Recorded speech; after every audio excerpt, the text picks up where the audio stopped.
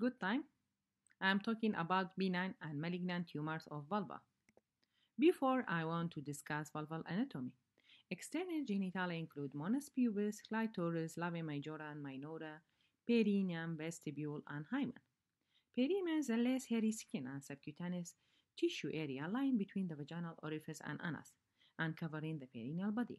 Its length is about 2 to 5 cm or more. The urethra open onto it, while vestibule, a forecourt or a hole next to the entrance. It is the area of the skin of the smooth skin lying within the labia minora and in front of the vaginal orifice. Benign vulval disorder a significant issue for patient. These disorders include vulval atrophy, benign tumor, hamartoma, and cyst, infectious disorder, and non-neoplastic epithelial disorder. Infectious disorder include diseases caused by the viruses, bacteria, fungi, and protozoa. The vulval tumor may require multidisciplinary approach by various specialties, including dermatologists, gynecologists, pathologists, and oncologists. Vulval atrophy may be related to advanced age or other disorder, but these abnormality often represent an almost physiological finding in the elderly.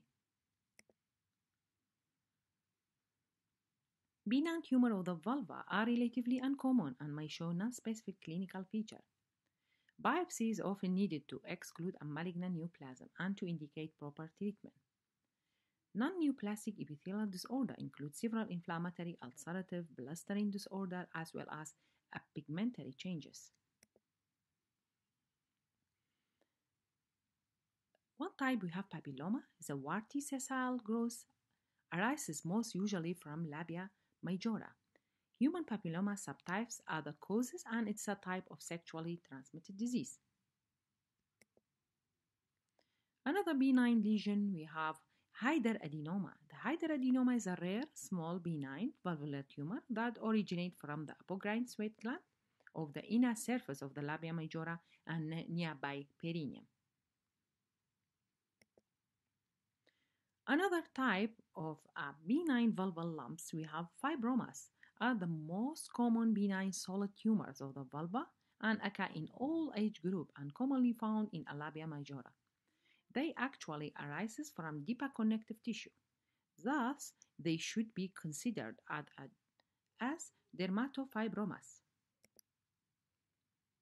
Another types of benign we have lipomas are benign, slow-growing circumscribed tumor of the fast cell arising from the subcutaneous tissue of the vulva.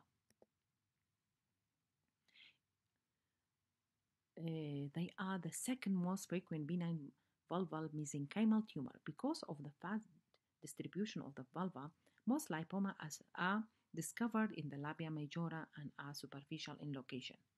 The malignant potential is extremely low. We have now non-neoplastic epithelial disorder.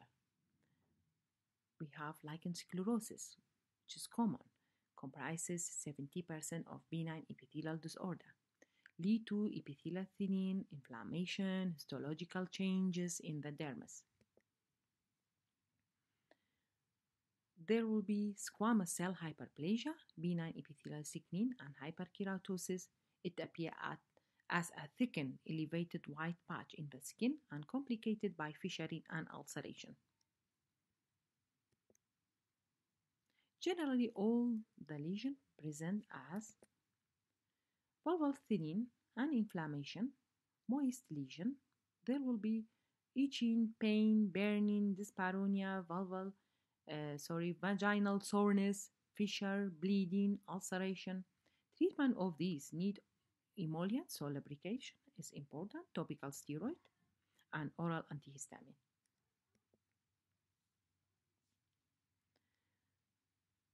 now we are uh, talking about pre-invasive lesion like vulvar intraepithelial neoplasia. It is a cellular abnormality limited to the epithelium of the vulvar skin, excluding the keratinized layer.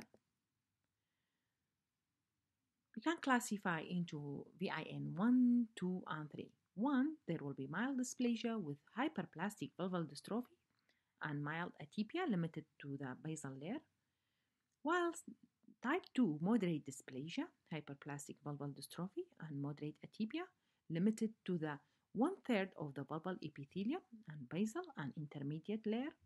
While the third type, there will be severe dysplasia, hyperplastic vulval dystrophy with sphere atypia seen in the entire thickness of the vulva.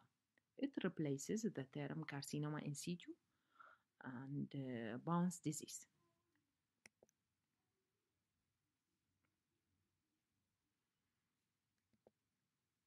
Its incidence increase because of increase of the awareness, early detection, and increased mean age of human. Approximately is found about 70 years old. The causes may be due to chronic vulval irritation, immunosuppressive condition, uh, human uh, papillomavirus infection, and HIV, smoking, sexually transmitted disease, and we have maybe dystrophies, poor nutrition, poor hygiene, and local moisture are also contributing factor. 50% of the VIN cases have sequential or concomitant neoplasia in the lower genital tract. It, uh, the lesions are reported in young women less than 40 years old, and obesity, diabetes, chronic prurite, and dermatitis are often uh, linked to this disease. Human papillomavirus DNA detection combined with cytology improves the detection test to 95%.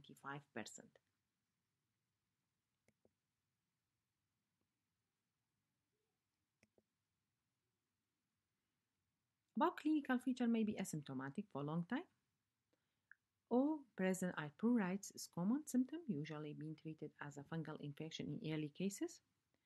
Prurites, scratch, and secondary infection sometimes seen. Uh, sometimes there will be soreness, dysuria, dyspareunia develop, and maybe pre-existing leukoplakia, condylomata, condyloma, and dystrophy may show white, red, flat, or papular lesion, single and multiple. We have multiple widespread lesions are more common in a young woman. Some develop pigmentation. The purpose of management, first, to relieve symptoms of pruritus and soreness. The second, to prevent development of invasive cancer. The third, to avoid uh, mutilating surgery and sexual dysfunction in young women. Radical vulvectomy causes disfigurement and dyspareunia.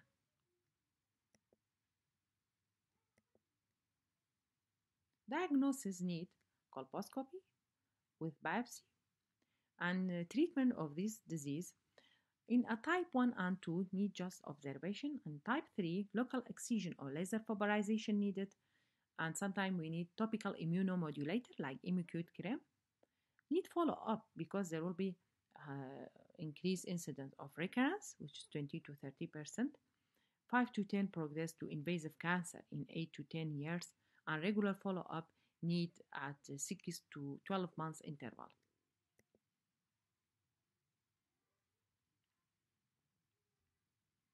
Now we, we are coming to another topic, Paget disease. A rare extra mammary disease. Apocrine sweat gland are involved, slightly elevated, sharply demarcated, white indurated eczematous lesion found in a postmenopausal woman presented with pruritus.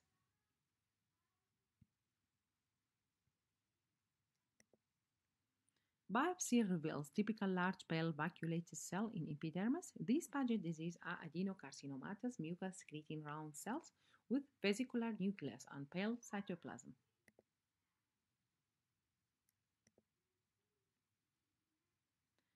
Local excision or vulvectomy, if no underlying cancer is present, with underlying lesion case is treated as invasive carcinoma Radiotherapy, local or systemic chemotherapy like bleomycin and 5-fluorouracil are also tried. The tumor recur in 20% of cases.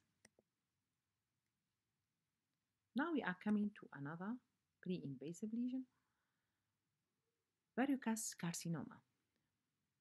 Most commonly found in oral cavity, but may be found on any moist membrane composed of squamous epithelium. There is no association with human papillomavirus infection. Usually occur in postmenopausal women and they are slowly growing but locally destructive lesions. Even bone may be invaded. Metastasis to regional lymph node is rare. The treatment of the verrucous carcinoma. Radical local excision is a basic treatment. Palpably suspicious groin nodes should be evaluated with fine needle aspiration for cytological testing or excisional biopsy. Vulval intraepithelial neoplasia or invasive tumor cell carcinoma may be seen in association with this tumor. Radiation therapy is contraindicated as it may induce anaplastic transformation with subsequent regional and distant metastasis. We are coming to vulval carcinoma. It's uncommon with an incidence of 4 cases per 100,000 women. It accounts for 2 to 5% of cancer of the female genital tract. It is the worst, most common cancer, common in elderly postmenopausal women, especially in 6 to 7 decade. Mean age 65 years old in 60%, while in 50% less than 40 years old. Tumor of the vulva generally are divided into human papillomavirus associated, usually in younger patients, and we have non-human papillomavirus association, usually in older patients, which are associated with vulval intraepithelial neoplasia and lichen sclerosis. The pathology of the vulval cancer, we have primary tumor. The primary tumor, mostly squamous cell carcinoma. Second, we have melanoma, 2 to 5%. Third, basal cell carcinoma, 2%, sarcoma less than 1%, Bartholin cancer, which is rare. Secondary tumor it occasionally found in the vulva, which is um, commonly the primary lesion is from the cervix, endometrium, or ovary.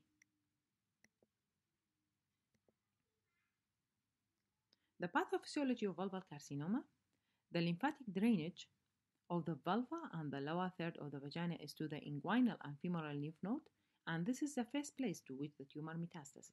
Beyond this, the tumor can spread up lymphatic chain and finally to the liver and lungs at a late stage, which is rare.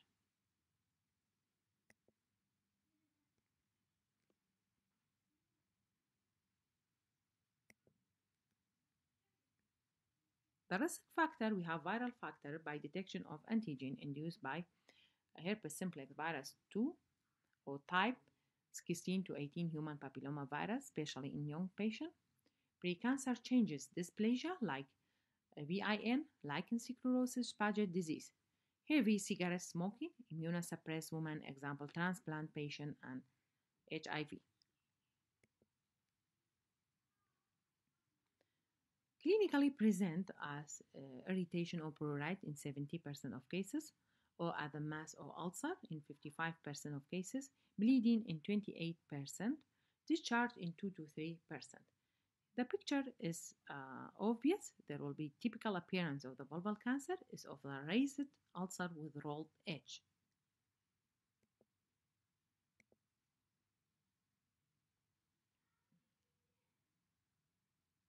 We see leukoplakic or dystrophic area may also be present, maybe single or multiple foci. Two-thirds of cases lesion involve the anterior part of the vulva, mainly labia majora, and one-third other part of the clitoris, perineum, labia minora, and fourchette. Ulcerative lesions bleed and offensively, offensively smell. Pain is a late feature when nerves are infiltrated. Inguinal lymph node may be palpable in more than 50% of cases. Urethral, rectal, or vaginal symptoms may be present when direct spread to them occur in 25 percent of cases.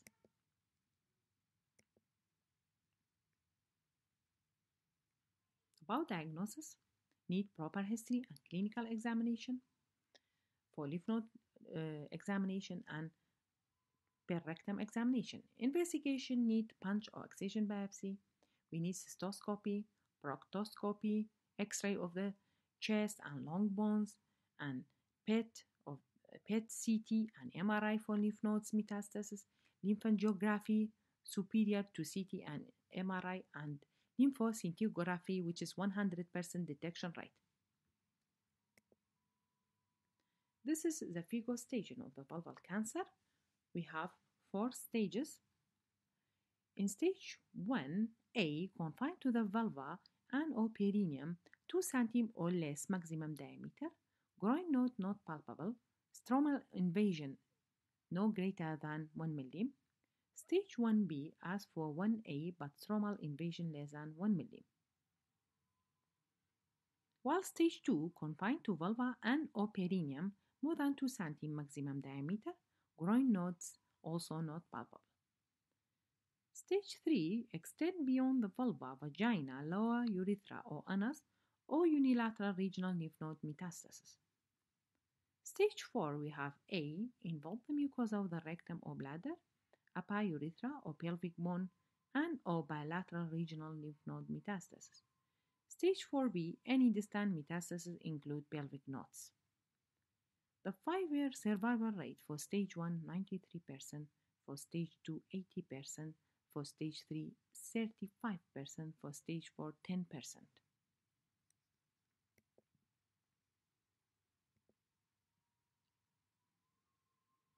Poor prognostic factor for vulval carcinoma if it is large more than 4 cm and its primary tumor. Depth of the invasion is important. Most important to predicting lymph node involvement. If it is 1 to 2 millim, so there will be 8% risk. If it is 3 to 5 millim, 30% risk. Location of the tumor is important. If it is central, is worse than the lateral due to bilateral lymph node spread. Sphincter involvement, direct spread, metastasis to the groins and the age. So in the old age, it's a bad prognosis.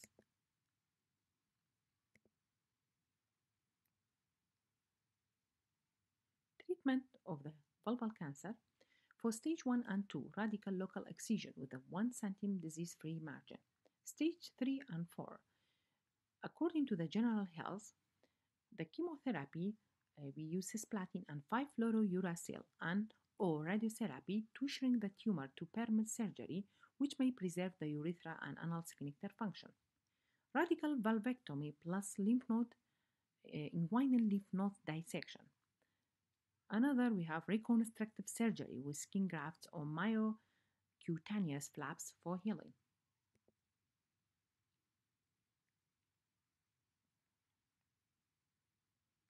The sentinel lymph node procedure may replace groin node dissection in the future where sentinel lymph node is the first lymph node to be involved with the metastasis is identified and removed. So no need to remove all lymph nodes, just the involved one.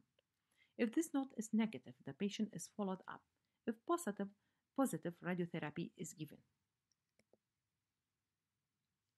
Thank you for your listening.